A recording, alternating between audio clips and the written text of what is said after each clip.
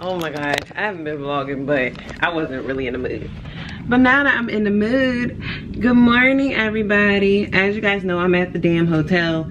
I feel so much better. I'm at the Hilton and it's pretty cute up here and nice. Um, I feel so much better. I feel so much more at ease. I don't feel like it's so much more, I don't feel like it's so much like hostility and drama. So, as you guys know, when you get surgery, you can either stay at a recovery house or you can stay at the um, hotel. And I was at the hotel, but now I was at the recovery house, but now I am at the hotel. So, oh my God, you guys, I'm walking around this damn hotel looking like somebody's little ass mama. Let me tell you, my grandma, she asked me, she was like, do you want she asked me, she was like, do you want one of these little sets? So I'm like, yeah. So girl, why the night that she came to visit, and it was time to go to bed, she put this on. So I was like, Grandma, where my set? She's like, oh, I didn't know if you still want it because you didn't ask for it no more. I said, of course I still want it. So then she ended up taking it off and giving it to me because this technically was the one she got from me, but she didn't know if I was still gonna want it. So then she ended up. I still got my garment on. You guys know I'm not really wearing pants can't really wear pants. I don't really feel comfortable and it's kind of tight wearing pants anyway. So what I'm doing is I'm just wearing like a lot of dresses, robes, and all that kind of stuff. Um, but yes, honey, haunted child. Now, basically my surgery was done on a Tuesday. Today is a Sunday. So I'm feeling pretty good. I'm moving around pretty good. And everything is pretty well. Um, pretty much so far. So that's how i'm feeling really good. Um but today yesterday i was just so bored. And then today is sunday so the clinic of course is closed so it's nothing really to do. So tomorrow i do get my drains out but i did notice that and my drains been doing pretty well but then i think either my drain is starting to either not keloid but it's it's a risen bump. So i'm ready for that fucking drain to come out. It come out tomorrow anyway though. But technically if my drain had came out like Friday, I wouldn't have had a scar. Because whatever the hell happened between, what, I guess Friday and now, it just got a little scar on it. So, that's the only thing I'm not too, like, pressed about it. Because I knew I was going to have some scarring. But, yeah. So, I, honey, has my outfit on. Like y'all see, I'm moving around pretty well. But I am going to take this daggone outfit off. I'm ready to go. I want to go to Sephora because I want some makeup and stuff. So I'm gonna see if I can try to make it to Sephora. I was gonna go to the mall, but then I thought about it. I was like, I was last night I was walking around the hotel because this hotel actually has a um, mini mart down there and like a little mall and shops and it's all this different kind of stuff. But um, honey, I went down there. I went downstairs to the mini mart and to the pool, and after that I was tired. So I was like, oh no. So I'm not gonna try to go to the mall because I was gonna try to go to the mall. I'm gonna just try to go to the Sephora.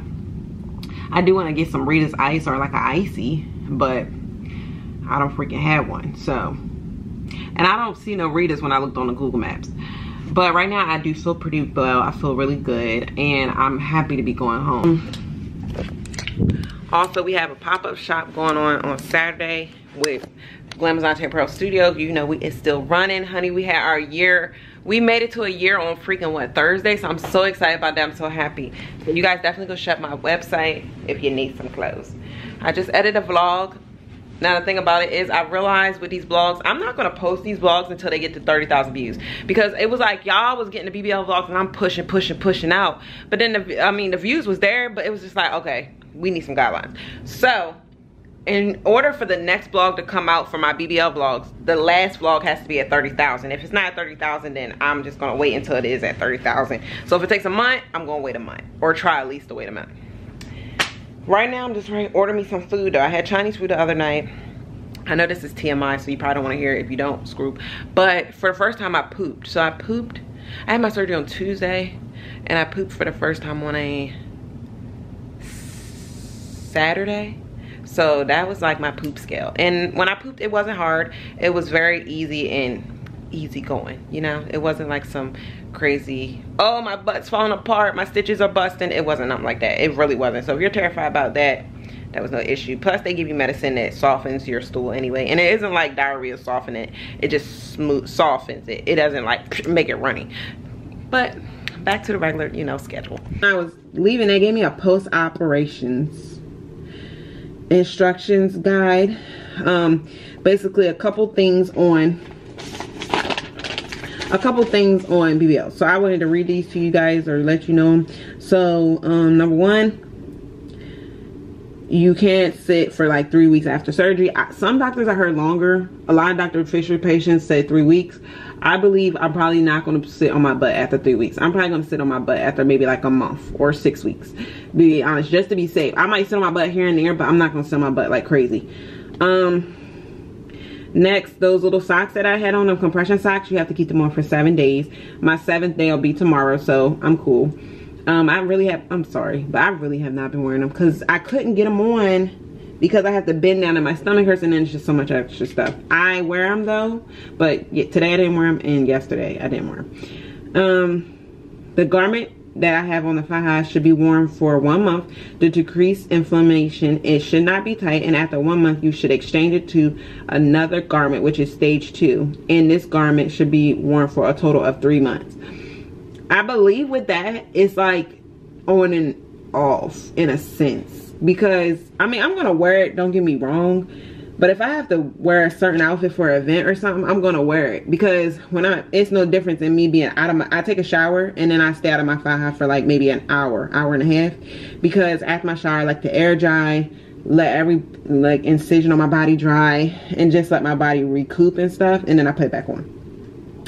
It says a waist trainer should be worn, can be worn after six months. I seen this girl, she fucked her stomach up. Basically, she put her waist trainer on after three months, three days or two days after operation because you figure your stomach is like sensitive. So if you want to you can squeeze it. I haven't done this but i can tell that if i wanted to i really could squeeze it and stuff and mold it to what i wanted to mold. But i'm just taking it easy and doing what i'm supposed to do. But she did that put a waist trainer on. When i tell you it like her waist don't get me wrong it's small on the inner side.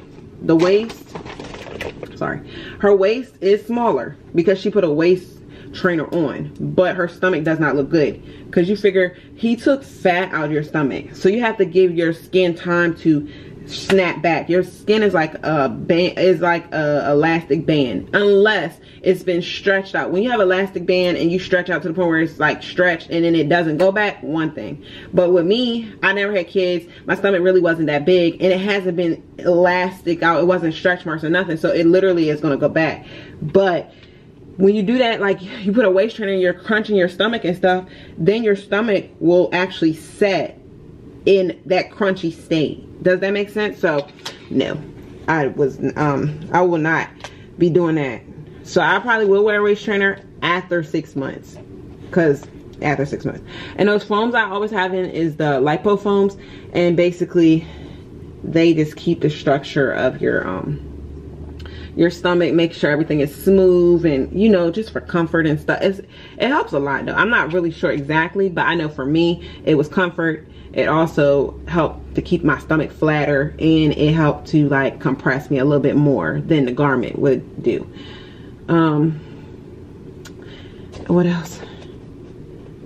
Stitches are to be moved, removed in five to seven days. Right now I'm in my sixth day, so I technically got, got out yesterday, but yesterday was a Sunday and then um, when the drains are removed for the first two days you can apply neosporin triple antibiotic ointment and dry gauze on top. After day three you may clean with water and soap and place a dry gauze.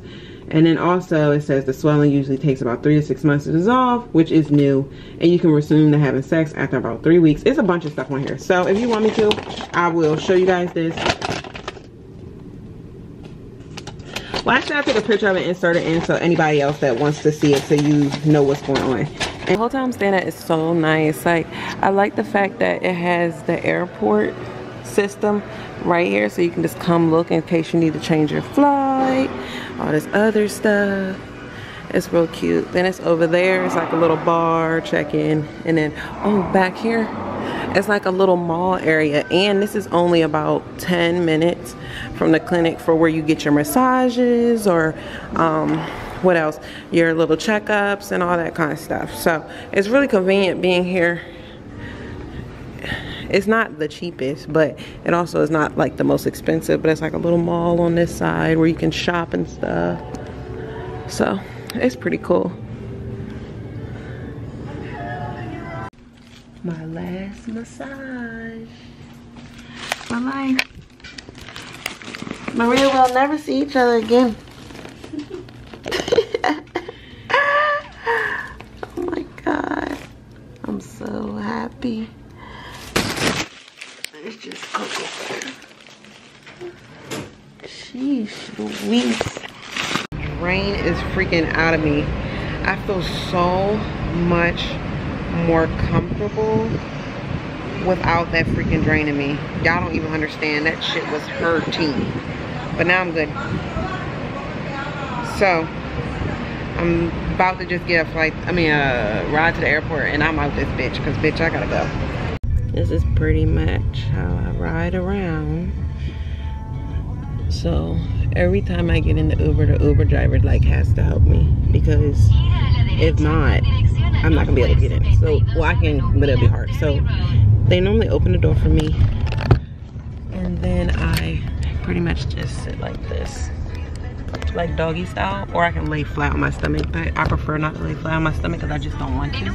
And then I just ride around. But I wanted to go I want an icy. Sorry there's a lot going on. But I want an icy so, so it's a couple different ways you can ride in the car. But um it's alright I'm used to it now. Oh my god. So after that last clip i was in an uber i got so sick like i kept feeling like i was on a vomit i was laying there my head closed my eyes closed my head was like all over the place. I was like oh my god i feel so sick i feel so sick i feel so sick. And the other night i had me a spray and it fucked my stomach up. So i did not want to get like a soda but i knew i needed like a ginger ale even though i don't know why all black people think they need a ginger ale so when I get into the airport, I it was just bad because one, all my, like not all, but a lot of my subscribers was recognizing me. So they was like, Tay, Tay, Tay. And I'm never rude. So I was like talking to them, but I was still feeling sick. And I was like, Lord, please don't let me throw up in front of one of them. Because that's what I felt like I was to do was throw up. So they was all being sweet and taking pictures with me and stuff. And then I was like, you know what? Let me just go get some like pretzels from the Auntie Anne's. So I went and got me some pretzels and a ginger ale and I started eating it. And then I prayed. I was like, please don't let me be sick on this flight. Please do not let me throw up. If anything, I don't know. I just do not like throwing up at all. I do not like throwing up. So then I'm like, okay, let me get myself together. So I went and got some pretzels and a ginger ale. And then I came over here because literally this is not even where my boarding is at all but it's nobody over here because where I'm supposed to get on the plane at is so many people over there. So I was like, let me just sit over here. So I'm sitting over here just getting myself together and my stomach is starting to feel better, especially after I prayed that prayer, honey, because I was about to say, what in the world, but I am on my knees. Basically. Honey, they ain't catching me slipping. I'm keeping this butt. So, also, when I left the surgery clinical place, they gave me a note basically that I could give the um, people on the airplane. And in the note, it just basically says that I'm gonna be moving around a lot. I'm only gonna be sitting down during the takeoff and sitting down during when we get up. But other than that, I'm gonna be moving around or I'm gonna be sitting in a seat like this or just doing all the other stuff. But I don't know why I got sick. I don't know if it was because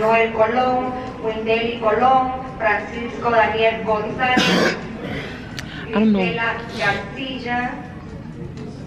Enrique Torre de la Enrique de la Torre y Jane Kearney. Por favor, a la puerta A2 en este momento. El vuelo 3920 con destino a. I don't know why I got sick. I don't know. Because when she first took out the drain, I felt so good. But I don't know if like because the drain was in my stomach that when she took it out, like blood and everything started back rushing back where you know the drain was at or what. But I just started feeling sick. But now I feel way, way better. Thank God. But I called my mom, but she didn't answer the phone. But I'm just Oh my God, y'all. I really was going through I feel so much better now. Thank you, Jesus. Because I know it's because of you. Honestly, because I was sick. Good. I don't want to tell them what I was about to tell you. What you about to tell me? I'm not telling you. Mama Glam's back, y'all. I'm just. Y'all been requesting her. Glam, I just nerves. picked Glamazon up from the airport. She all mad. We in line at Chick-fil-A. It's like 20 deep, so this is a process, but anything for the glam girl. So, what you say? shade. I don't see the shades. Y'all see her shade? They cute on it. I'm gonna put a mini um, coupon clip in this and see how y'all do it. Rain, get in your car seat. Look, there's a new squad. London is out for redemption. Jamie is out for the throne. Just like you. And Eve, she out her mind. As soon as I made it home, y'all, I got me a freaking bath. But, oh my God, I think we have an issue because this is the next morning, but my mom washed my faja, but when she washed it, I think she shrinked it because last night, even though I didn't have my draining last night, my stomach was so uncomfortable. Like, I never felt that uncomfortable and I don't know how long. So, I was just like, what in the world? Why do I feel so uncomfortable? Why is this thing so tight? And I think it's because my faja is too freaking small now because my mom washed it. So I'm either have to overnight one, go get one, or do something because my body is like really hurting in that five. Um, or try to stretch it. I don't know because the bitch is apparently like strong. Um, I'm gonna get my grandma to scratch my hair and grease it because I miss when she does that. Honey, Rain got something on on TV, but oh my god, I don't know. Dan, come here.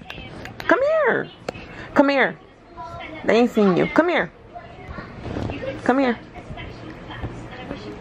Come here, then.